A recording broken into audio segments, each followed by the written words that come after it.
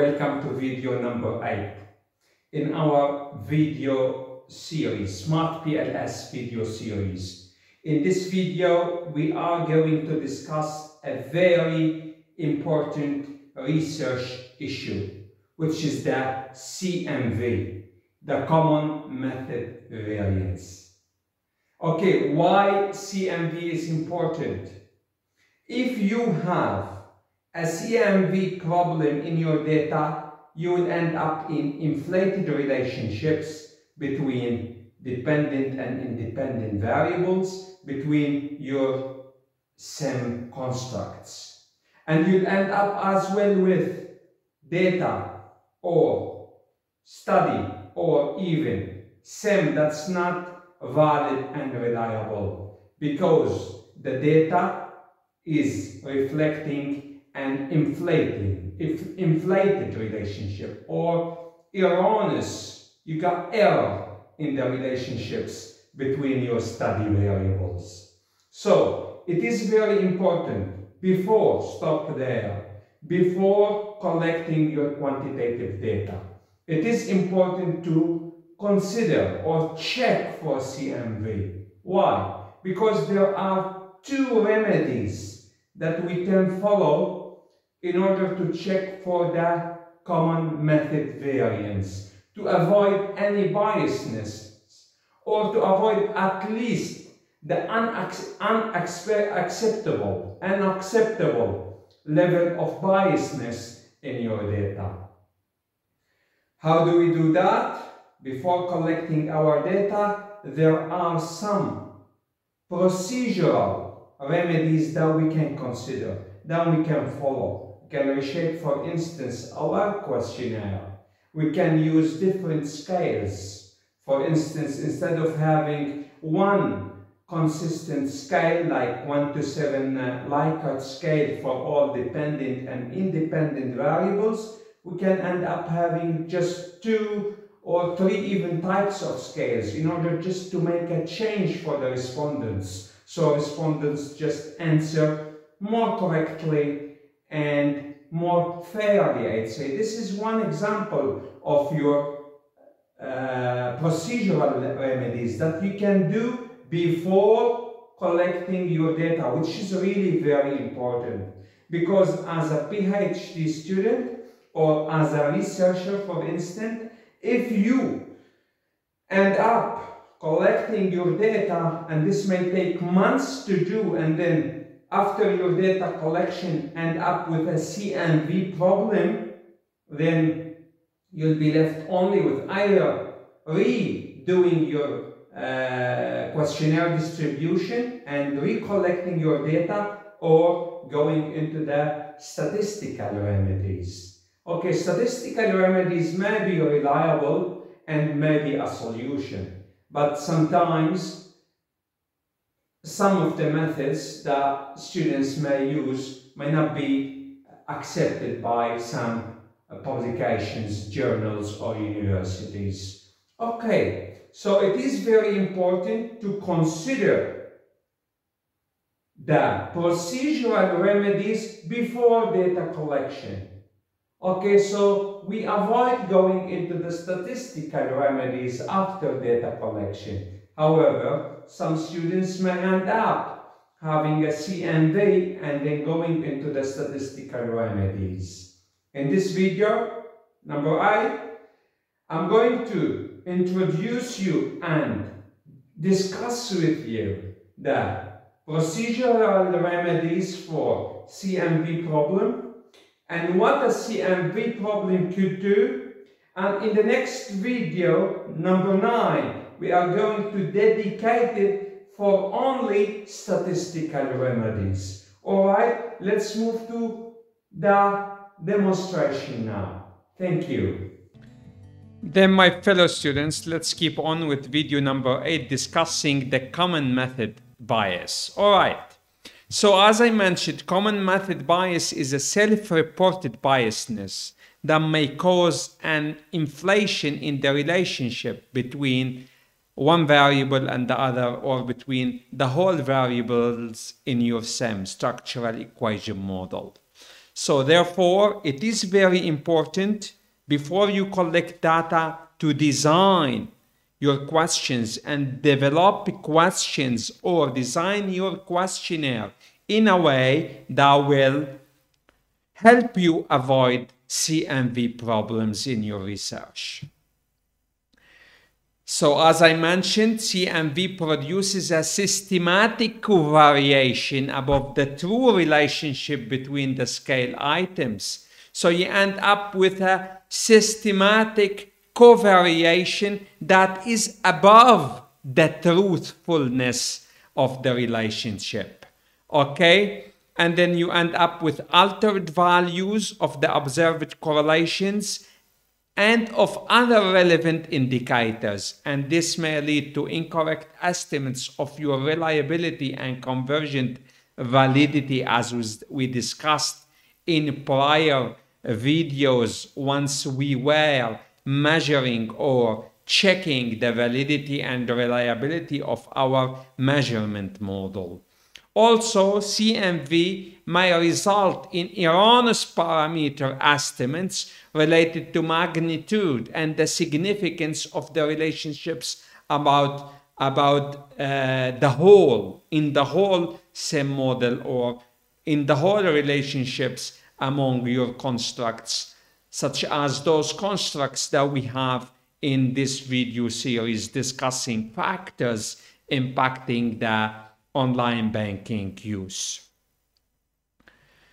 And if you have a CMV problem, you might end up with uh, unreliable, invalid results, and even the model fit may, be, may not be uh, that good. So it is very important at the beginning, before collecting your data, to address the CMV and have proper considerations and reshape your questionnaire, uh, redevelop probably your questions, reconsider the scale uh, of your questions. Uh, it is very important to have uh, significant uh, considerations before before going and distributing your surveys. Some possible sources, for instance, of CMV might be a single source data collection. This is when you, for instance, ask uh, uh, the same respondents about their attitudes, and then you ask them themselves about how they evaluate their attitudes. So from the same source, you are getting uh, uh almost uh, data that has to be uh, independent, that has to be separated, like students cannot probably evaluate their attitudes as well as describe their attitudes. They may evaluate, they may describe, but someone else may evaluate. So single source data is an issue. Uh, so they should be different. Uh, however, I don't know, sometimes researchers may like the time, but I don't agree. No, we have to shape up our questionnaire very well before starting collecting our data because once you go and collect your data and then you end up with a CMV, it's much harder. So just better take care first, then go to treatment later on. All right. A long questionnaire as well, a long questionnaire instrument uh, may end up uh, or be a cause of a CMV because once you get into a long questionnaire, they would require substantial time from the respondents. Respondents may get kind of like uh, tired, sluggish, uh, may just feel bored, and they just end up just filling any questions, any answers, especially if you have one scale that goes from instance from 1 to 7 from the beginning till the end of the questionnaire. They just get used and just yell. Okay, go in and, and, and answer the question same way. All right, and then they may end up at the end not even reading, not even reading because they get tired. So this sort of questionnaire may, may, should be well considered actually. A long questionnaire is not uh, recommended All right, so we have to consider the questionnaire and avoid long questionnaires. Respondents as well, sometimes if you are, for instance, researching a specific topic, respondents may have some presumptions, they may have some peer pressure, background knowledge, etc., and they just end up uh, putting their answers quickly and maybe in a biased way. And if they do that, you end up with a CMV. How do we deal with CMV? If you haven't collected your data yet, stop there, don't.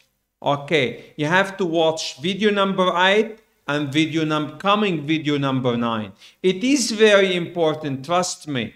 Trust me on that. It is very important to watch video number 8 and video number 9 before collecting your data. And trust me, I am saving you lots of hassles on that. I am saving you lots of hassles on that. All right? Okay, how do we deal with it? Dealing with CMV, it's, it's like taking care before getting sick and then going at treatment after getting sick. All right, so we have the procedural remedies. So this is taking care before you get sick, which is very easy and much easier and much cheaper and much uh, less time consuming.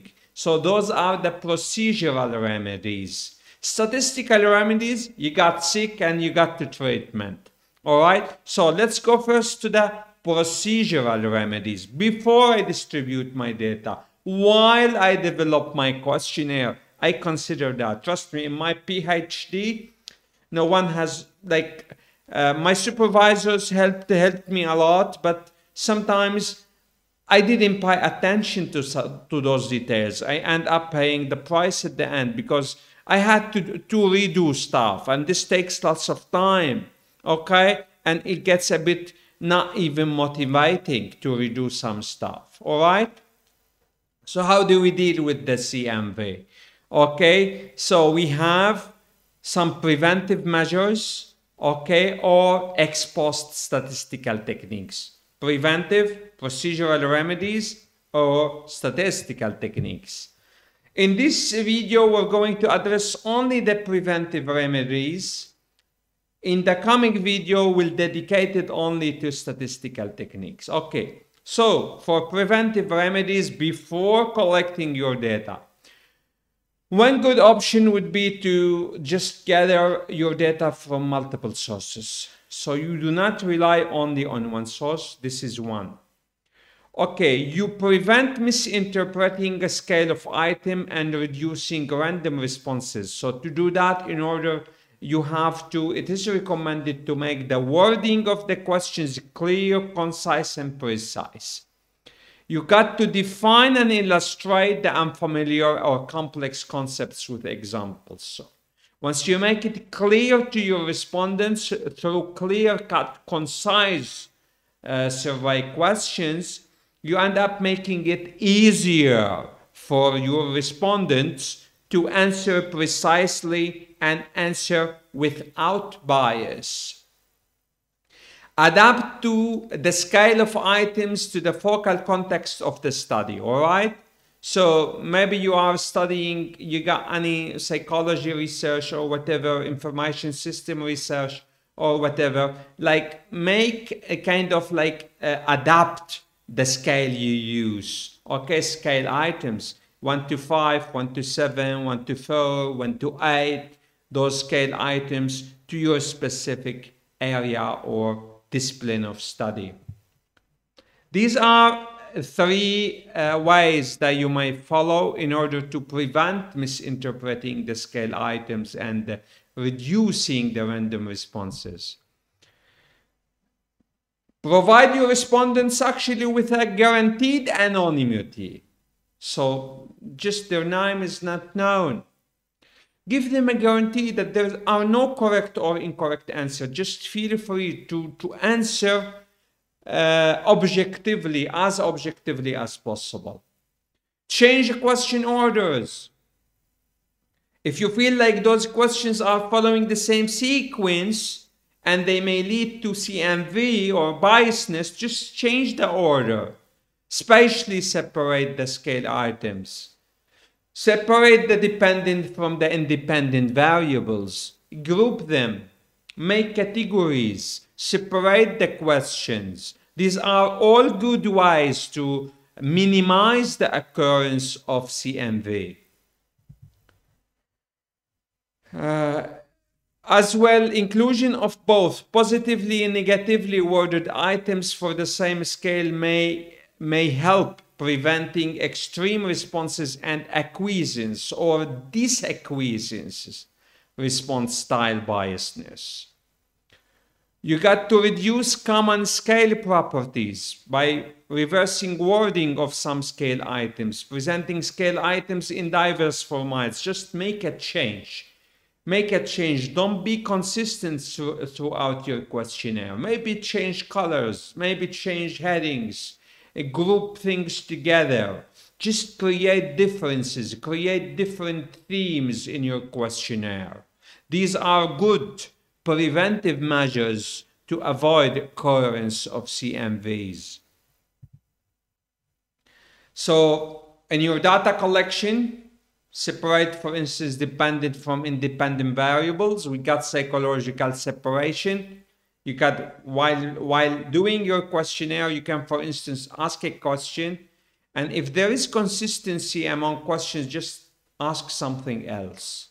Okay something in between. Use different scales as i mentioned.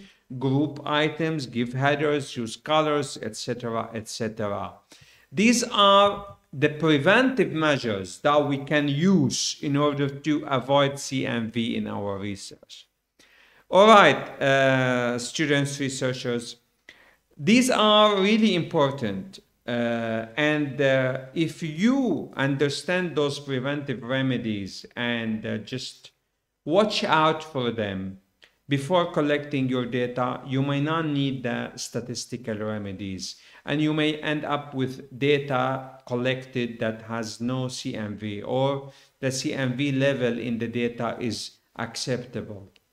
So in the because in any journal uh, these days, or even for your supervisors for a PhD thesis, you get to you get to tackle the CMV. You get to explain. You might be questioned about this, the CMV, uh, what you did with it, and how you dealt with CMV in your data collection, because. Um, if you don't, you end up with a, with an unreliable study, and we don't want to get into that. So you paid attention to those, maybe you're only into preventive, you didn't pay attention to those, and you end up with a CMV anyways, then we get into the statistical remedies. Statistical remedies may be many.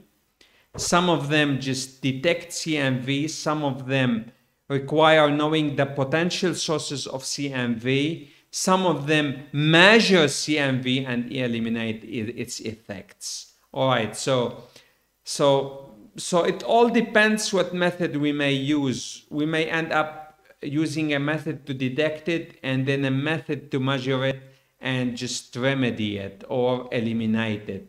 And these methods are numerous. I get those from a study by Rodriguez Ardura and Meseguer Artola.